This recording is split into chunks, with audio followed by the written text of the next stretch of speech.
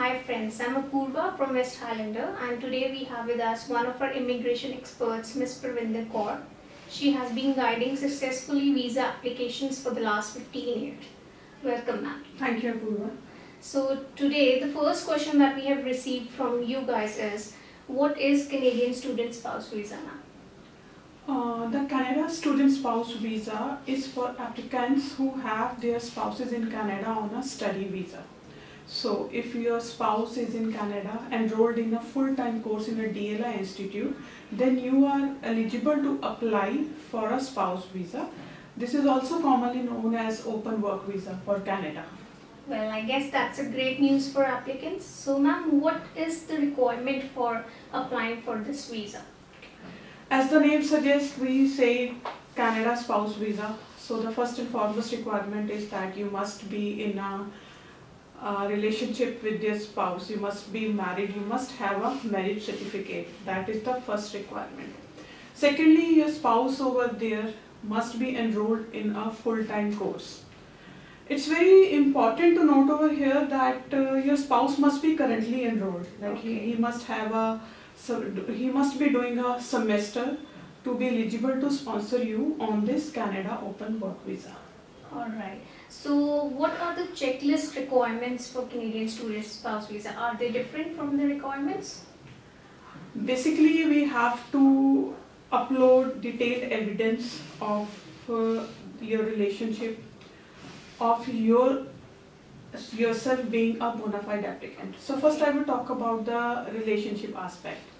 Now, this visa is for the spouses of the students who are in Canada. So we need to have a documentary evidence which suggests that you are living in a stable relationship with your partner. Okay. Marriage certificate is a must, but it is not the only document. You need to provide evidence of your marriage which have taken place as per the norms and culture of your place where you live. So we need to have evidence of different kind of traditions, different ceremonies which may have taken mm-hmm. place at your wedding. So this is the relationship aspect of the application. Secondly is you must also provide evidence that you are a bona fide applicant who would like to go to Canada to be with his or her spouse.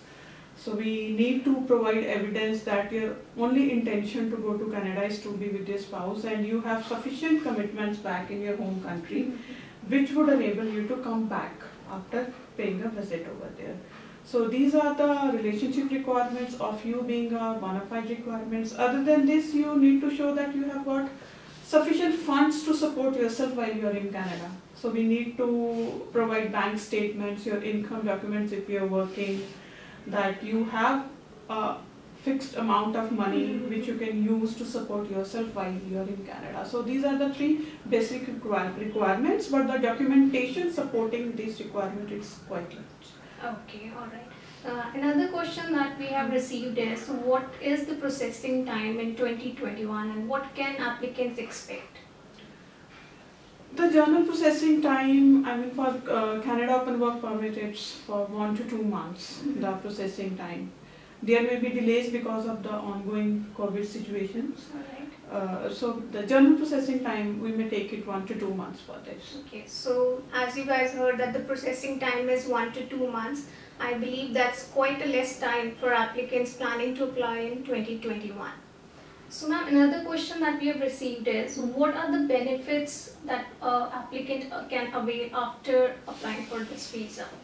See, the first and foremost benefit is that you get a chance to be with your spouse in Canada, I think, which is a great attraction for students as it's a lifelong relationship you have entered into. Yes. and you would like to be together. Okay. So and secondly, this visa allows you to work over there. And the best part is that you need not, uh, you don't need any job offer for this. It's an open work permit. So based on your spouse and other documentation, your visa application is processed, and if your visa is granted, you can travel to Canada and you can work over there without a job offer. So this is the major benefit and major attraction of this program. Another question that I can think of is uh, how long can I, let's say if I am an applicant, how long can I work in Canada?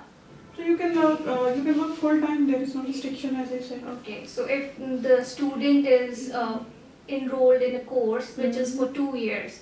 So can I work for two years or can I also apply for an extension if the partner is applying for an extension, post-study work permit as we say? Yeah. Your visa eligibility depends on the visa of your partner. Suppose Okay. your partner is on a student visa over there. So as a partner of a student visa holder, you are eligible to apply for a open work visa. And if your partner applies for PSW uh, visa, which we say post-study work visa, then also your eligibility remains for this open work visa. So there is no requirement of job offer. You can apply for this visa while your partner gets transferred to post-study work visa. Yeah, That was quite informative. So another question that I would like to ask is how can West Highlander uh, assist applicants in this process? Uh, we at West Highlander, we have been assisting applicants filing their application since our reception in 2005 and we have successfully received visas for many of our applicants. So we have got uh, very good service over here. We have got qualified and experienced counselor who assess your case. Like the requirement is journal, but the checklist uh, that may be individual personalized. All right. So, uh, as I previously spoke about the relationship aspect of the application, Mhm. so our counselors they discuss in detail about how the marriage took place and what are the relevant documents you can give us to support the application. And the second point I spoke about was that uh, we need to also prove that you are a genuine applicant whose intention is to visit his or her spouse over there in Canada. Right.